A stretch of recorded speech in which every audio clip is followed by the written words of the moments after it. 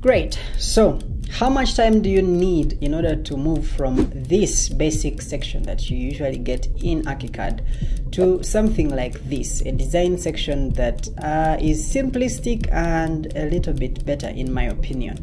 Or maybe the question is, how do you move from this section that you usually get in ArchiCAD to something like this? In this video, we are going to cover how to come up with something like this and also to see how we can speed up the process of working on sections because that's the essence of ArchiCAD. It is meant to help us to not draft these things manually but to concentrate on the design in floor plans and 3D modeling. So let's get started with this video. Hi there, it's Naylan and welcome to Nalitect Studio. So if you are new to this channel, I recommend that you do subscribe because we make content like this, helping you as a, a designer save time and focus on improving your designs with tips in ArchiCAD, Photoshop, and other software that we usually use as designers such as Twinmotion.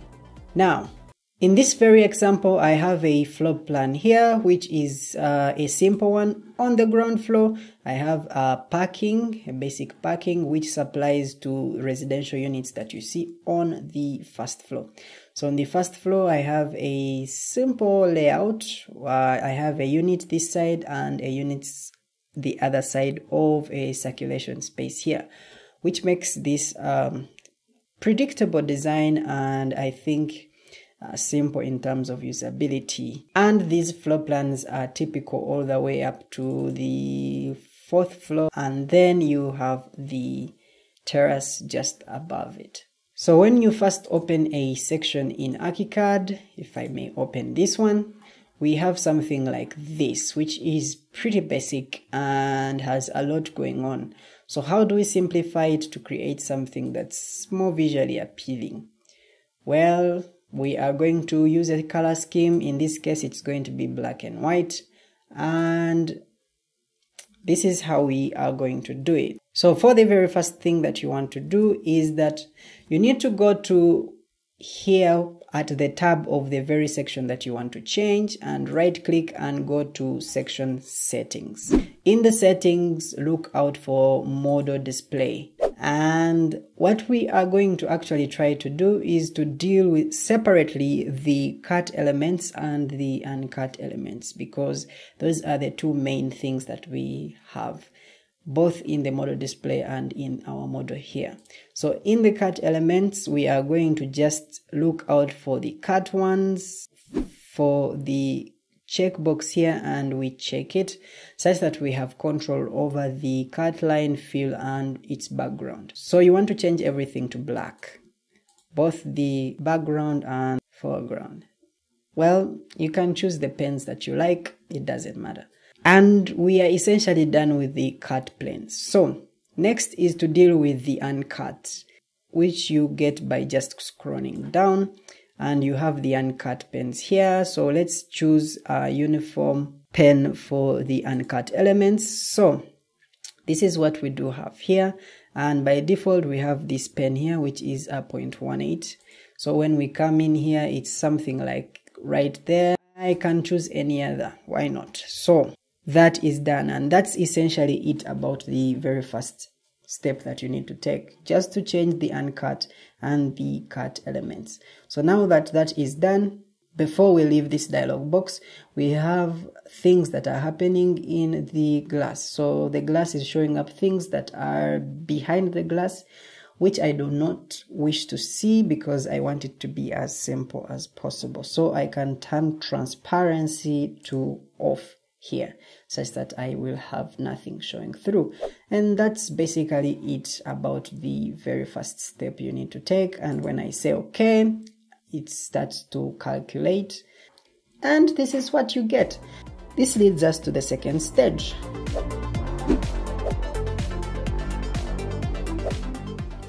So the second stage is just essentially populating the section in order to create a narrative around your design. One is to create the context around which the building is going to be because obviously it's going to build in a given area. So maybe you have things which are already existing. By putting them here you can add a better narrative for your design. One is that maybe I know that this building is going to be built on ground. So visually I can represent that by going to design and document and then I pick a fill and I have it already selected here. So all you have to do is to select that fill and make it earth. I can uh, turn off this solid line and have it as a simple light pen here and its background as black or even if it can be background. Doesn't matter. So let's say okay and begin to draw. I'm going to use this third option here. And I will just draw this over. Place it where I need it and uh, right click display order I send it to back. And I am essentially done with the ground. Maybe this is too much I can scale it down. So I have placed a context for for this thing. And the next thing is that maybe I have some trees around my site. So I will go ahead and go to the object tool and I can type in pin tree literally and the trees will show up. I had already done that. So maybe in this case I can choose evergreen. And when I do choose I can go here in evergreen types and go to the 2D representation where I can choose the symbolic side view. Uh, because therein we have options of uh, trees that we can use. So I think I can use this type 2. I will say okay. And I'll place it somewhere around here. Of course, I should have changed the, the pen.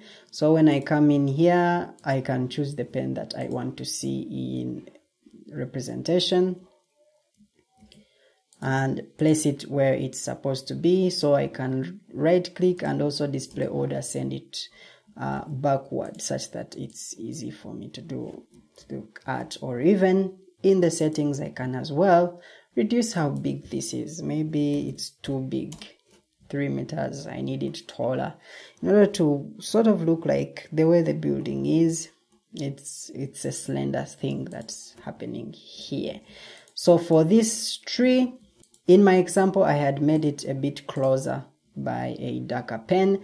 And for another tree which I may choose maybe from the deciduous category I can decide in the symbolic side view something like this one right here.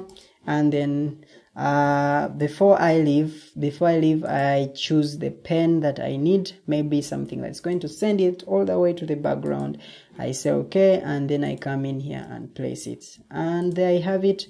So great you can place it even around the building such that when you right click display order send it to back it's already sent to the back. And we have created a context. Maybe these are the two trees that were evident on site. Next is that this building is going to be inhabited by people. So all we have to do is to go to objects and add in people. So all we have to do is type in man literally and we will have these options here, maybe this guy can climb the stairs. So in the custom settings, we can go to the top view and change it to front view.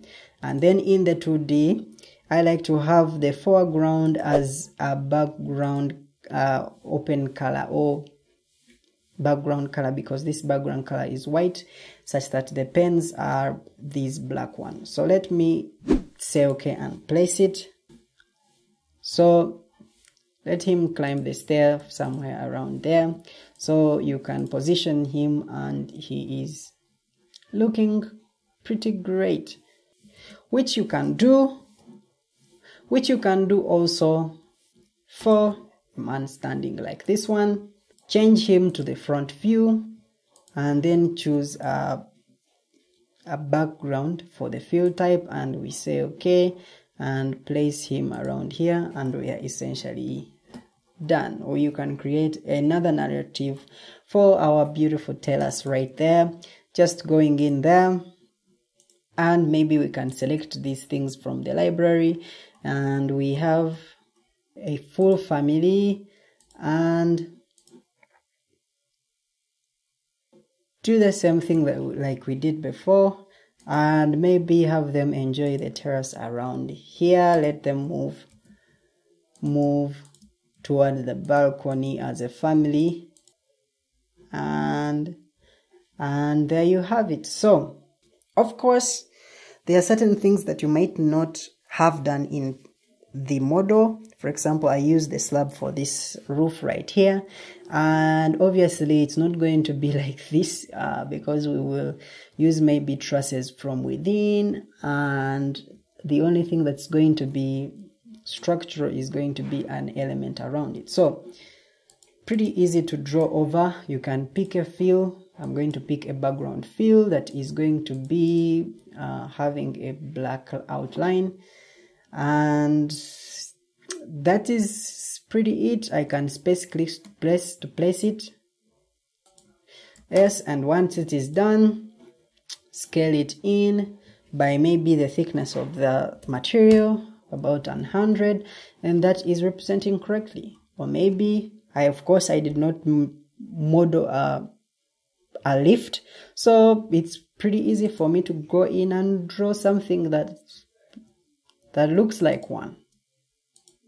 And I can move it as well to anywhere. Maybe it is between stories. So and perhaps we have cable lines that run along this structure wall as well supporting this uh, this lift all the way from the machine room which is around here. Maybe in the machine room we have something going on as well. So you get my point. It's pretty easy to do this and in just minutes you have a design elevator a design section that you can work with. So thanks for watching and i'll see you in the next one. Bye